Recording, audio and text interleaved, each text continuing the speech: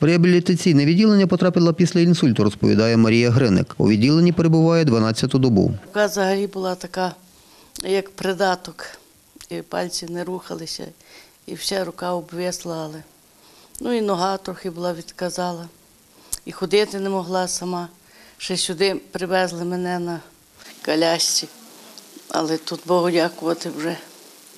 І рука дуже вже практично відновилася.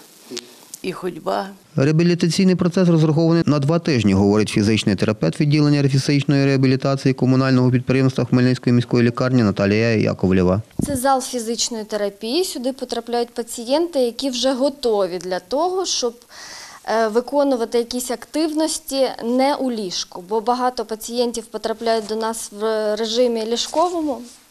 Вони не можуть не перевернутися, не сісти. Процес е, саме в нашому закладі е, розрахований на приблизно два тижні, але є якісь винятки. Але реабілітація закінчується тільки тоді, коли хоче сам пацієнт. Реабілітація, вона по суті не закінчується ніколи.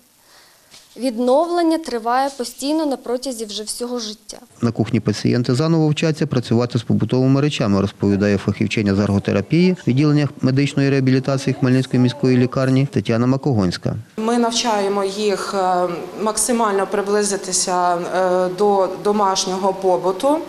Е, Це навчання готування, самообслуговування, миття посуду і інших деталей. Е, Також ми навчаємо їх е, одягатися.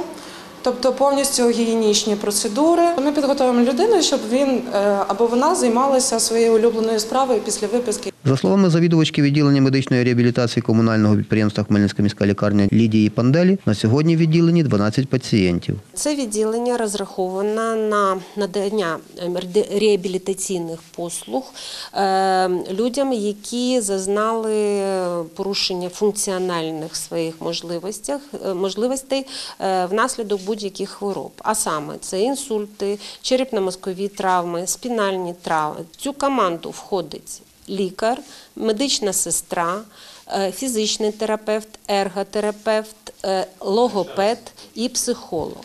До кожного пацієнта розробляють індивідуальний підхід, розповідає Лідія Панделі. Ми підходимо до неї як до людини, і яка живе в соціальному просторі, яка має якісь хобі, якісь.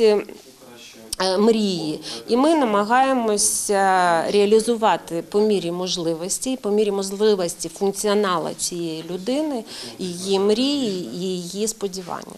За словами Лідії Панделі, у перспективі у відділенні планують розгорнути ще 30 ліжок. Нині тут працює 23 медичних працівника. Реабілітація безкоштовна. Михайло Жила, Юрій Чорний. Новини на Суспільному. Хмельницький.